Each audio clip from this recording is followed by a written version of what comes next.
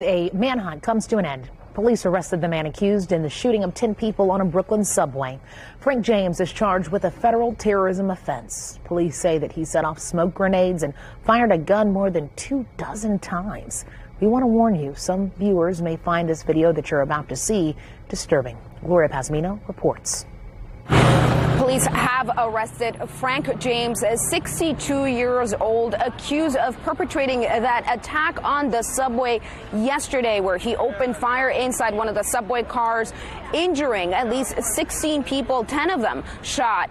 The police uh, have told us the investigation into exactly what went on yesterday continues.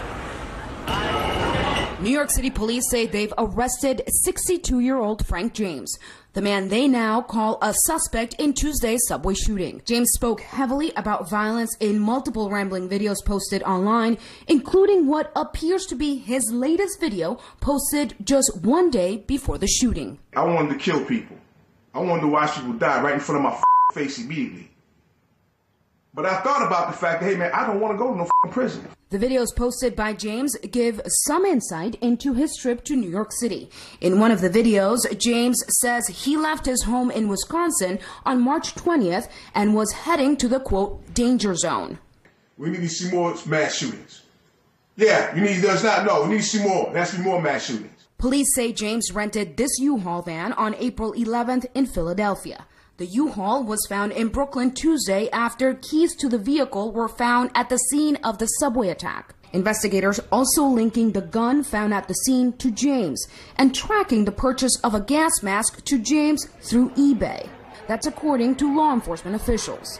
The manhunt for James may be over, but the healing for victims is just beginning. I still feel the pain. Um, they gave me a bunch of pain meds, but I, it's still there. I can still feel it. I can still see the hole. I don't think I'm gonna ever. I don't think I can ever ride the train again. At this time, 10 people remain hospitalized.